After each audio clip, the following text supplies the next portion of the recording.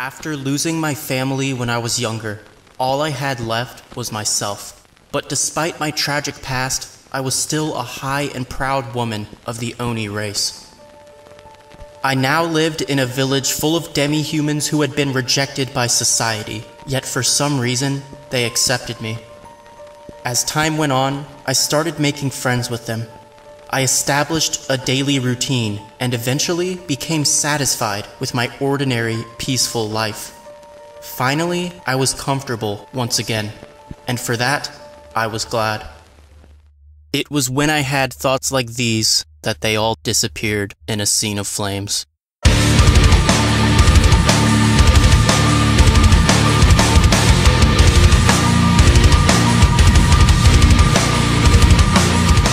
Welcome back, everyone, to part 4 of the Rem If prequel. This is the final part of the series, and we will be covering the last three chapters, starting with the interlude, then chapter 6, and finally the epilogue.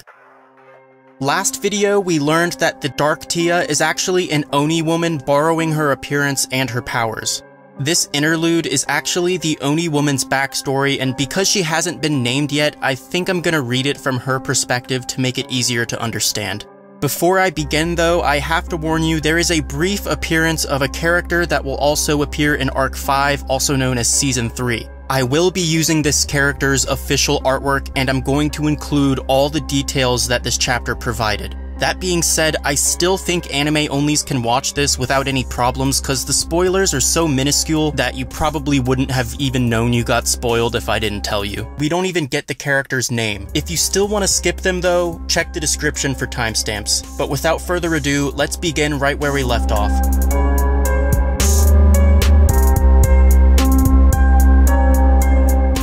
The young man who taught me to grow crops, the elderly neighbors who showed me kindness, all of them burned. I was the only one who survived.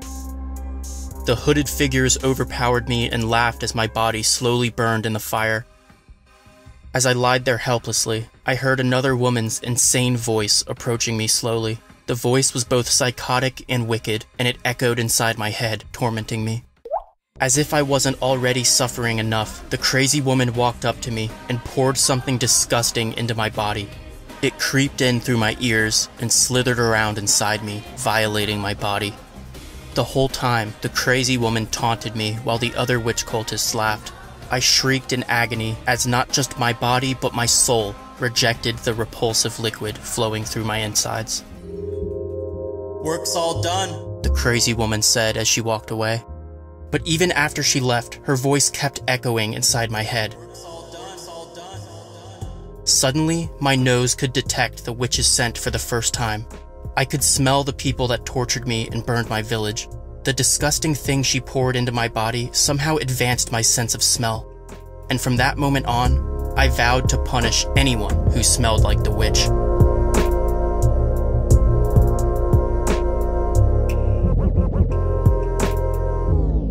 Using my party members' dead bodies as shields, I was able to get past the deadly wind surrounding Zarestia's bed. After retrieving the light ball, I finally had enough power to slaughter everyone with the witch's scent. One particular night, my nose reacted strongly to a young man walking the streets of a town called Banan. He was on his way home after a hard day's work at one of the town's mansions, and there was someone with him too, a cute woman with blue hair. She was another Oni, the same race as me, the same blood as me. I didn't understand. How could another member of the Oni race be happily in love with someone like him, someone that smelled like the witch? Is she really going to protect a witch cultist? In that case, I'll just have to kill her too.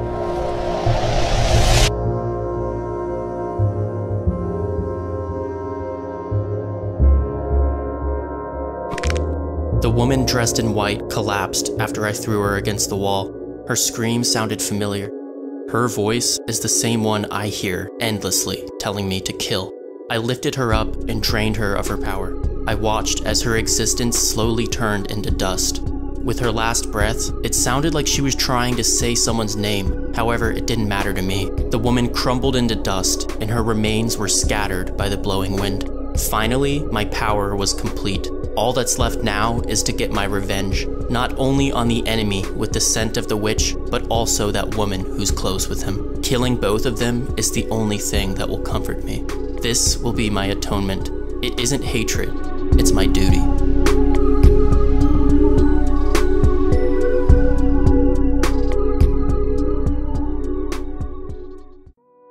Rem was laying in bed at the clinic with Subaru at her side. The child would be born any second now, but Rem second guesses herself. She reflects on her past and admits that she was a bad child and a bad sister, so maybe she'll be a bad parent as well. Subaru tries his best to comfort her, but she asks him again if he regrets all of this.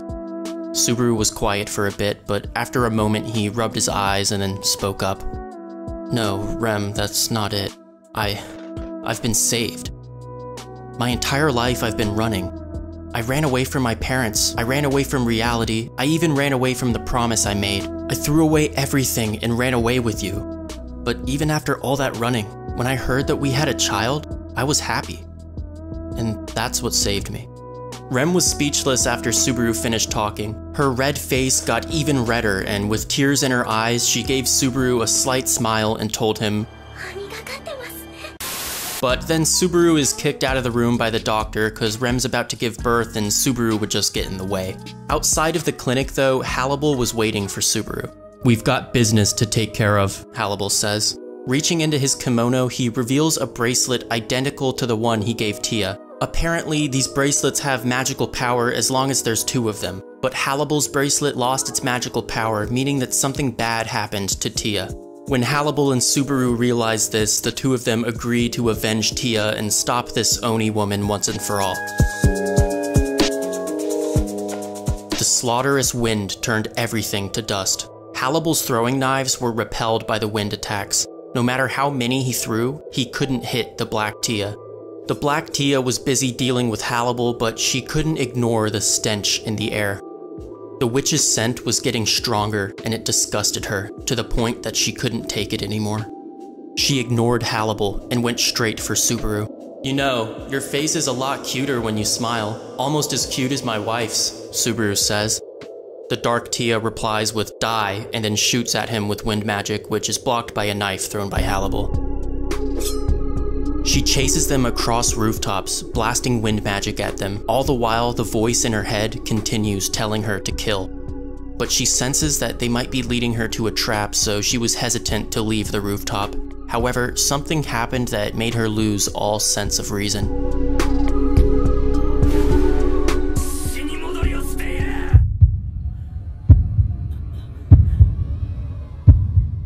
The witch's scent intensified, and the Dark Tia lost control. She jumps down and shoots a blast of wind at Subaru, and Halibel launches him into the sky but wasn't able to avoid the attack himself. He apologizes to Subaru and then dies. The Dark Tia felt joy after confirming the kill and looked up at Subaru, her next target. The voice inside her head told her to tear his body limb from limb and then bring his remains to his wife to teach her a lesson. But while Subaru's flying through the air, he shouts, Do it now! And then suddenly something was thrown at the Black Tia from every direction. It was a bunch of wet pieces of cloth slowly flying towards her. She still had plenty of time to kill Subaru though, and without Halibel, Subaru had no way of dodging the attack. But the voice inside the Dark Tia's head telling her to kill suddenly changed. I don't want Rem to hate me, it said, and then the black Tia froze. She couldn't move her hands or legs, she couldn't kill, and she couldn't dodge the wet pieces of cloth. They hit her and wrapped around her body over and over. She screamed as if her skull was breaking as the sharp scent of alcohol entered her nose.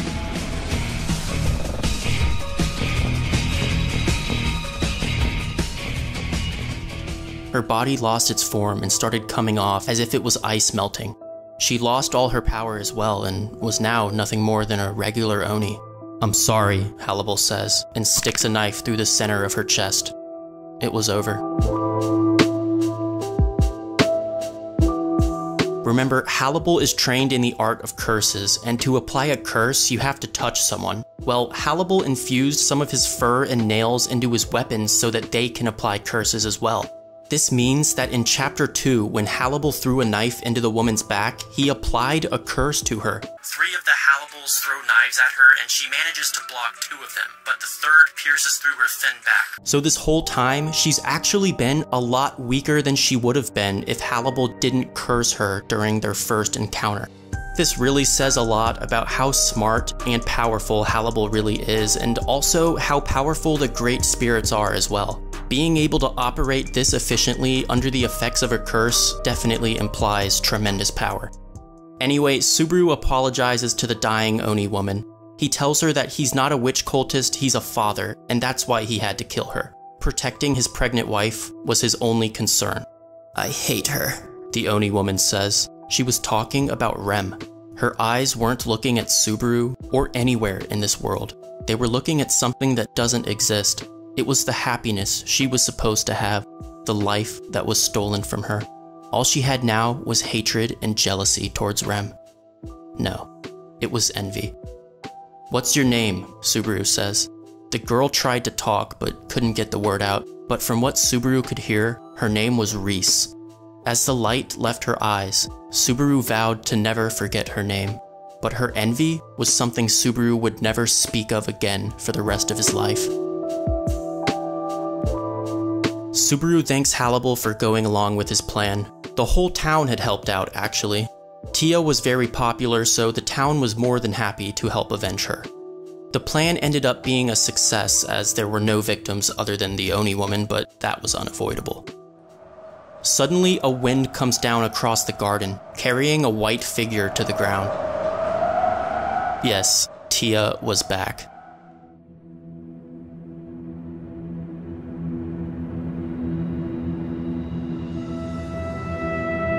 Many hundreds of years ago, long before there were witches and dragons, the great spirit Zarestia roamed the continent freely, using her magic as she pleased. With her hands, she produced fire. With her legs, she dug up the earth. With her tail, she created water. And with her mouth, she controlled wind. The Great Spirit had a friendly relationship with the people of the world. She would do favors for them, and they would offer her gifts in return. However, there was a time when the people asked her for fire, just fire. But Zarestia wanted to use wind magic as well, as wind magic was her symbol of freedom. So she gave the people both fire and wind, and the combination of the two resulted in the country burning to the ground. Zarestia didn't understand why what she did was wrong, so the people turned against her. They invited her to a celebration and gave her alcohol to drink. She didn't understand what alcohol was, so she drank everything they gave her. And eventually she passed out, and that's when the angry citizens got their revenge. When Zarestia woke up, she was missing all her limbs. Her arms, legs, and tail were gone, and with them, her ability to use fire, water, and earth magic disappeared as well. My body, where is it? Give it back, she said. But the people wouldn't listen. Instead, they showered her with alcohol and set it on fire. But Zarestia still had her head, her mouth, her fangs, and her wind. Not a single person survived. Zarestia killed everyone she saw, even those who were innocent. When Zarestia was happy, she wanted to kill. When she was sad, she wanted to kill. When she went to sleep, she wanted to kill, and when she woke up, she wanted to kill. It was the only way for her to feel free again. So she killed and killed and wouldn't stop. The same people that formerly called her beautiful now called her a Shinigami. I am Zarestia, the most beautiful Shinigami. And Zarestia was free.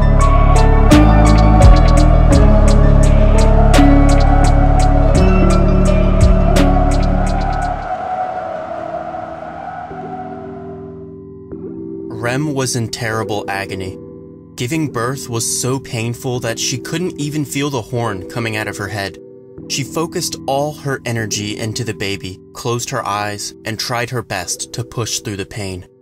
But when she opened her eyes, she saw something unexpected. It was no hallucination. Tia truly was standing there, smiling with a murderous look in her eyes. It was a genuine smile, but it was completely full of bloodlust. She was wearing the white outfit, so it was definitely the good Tia. However, the aura she gave off was exactly the same as the bad Tia, which meant, You got your light ball back, Rem says. Tia gets embarrassed and starts nervously playing with her hair, and with a red face, Tia timidly confirms Rem's suspicion. Rem wasn't afraid, but she had to ask, Tia, are you going to kill me? After a moment of suspenseful silence, Tia answers her, I want to, but I love you guys, so I won't kill you.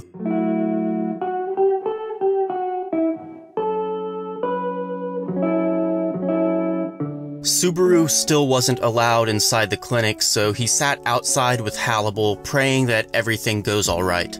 He prayed to every deity he could remember, and even added Tia's name right at the end of the list. Halibel asks him if he's decided on a name for the child yet, which of course he had. Subaru says that if it's a girl, he wants to name her Spica, and if it's a boy... Before he could finish, the clinic door opened and Rem walked outside. In her arms, she was holding her newborn son.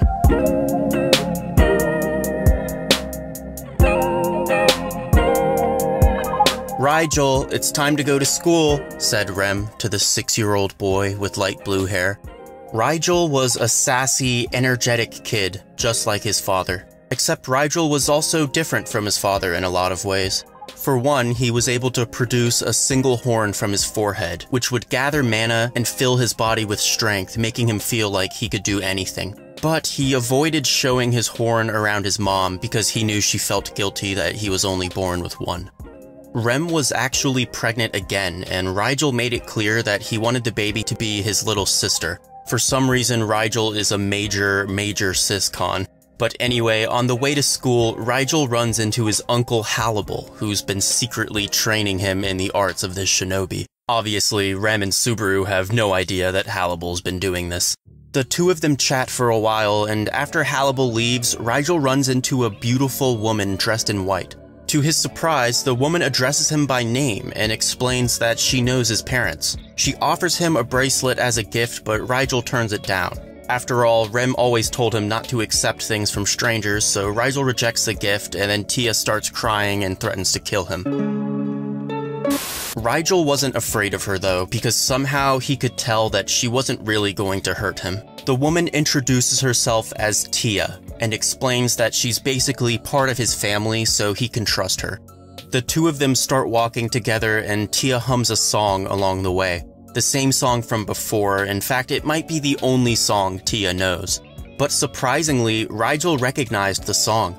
It was the same tune his mom would hum sometimes, and if he remembered correctly, she had always called it the Tia song. Well, I guess I'll just have to accept her as family then, Rigel thought to himself.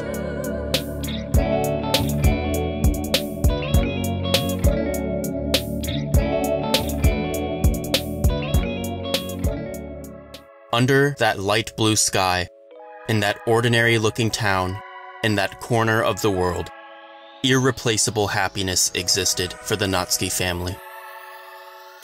To achieve this, there also existed things that were sacrificed, people that were lost, places that were abandoned, and memories that can't be forgotten.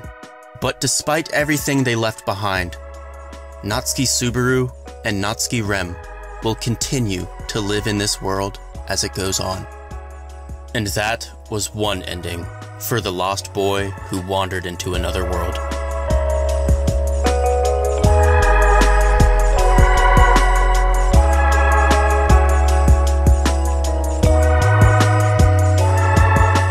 And that concludes the Rem If prequel. Yes, this was just the prequel, so the story does continue with the original Rem If, but after this point, all the conflict is resolved, and what's left is basically just slice of life type filler stuff. So right here is where the Sloth If story really ends, and the content after this point could be viewed as a sort of OVA for lack of better terminology.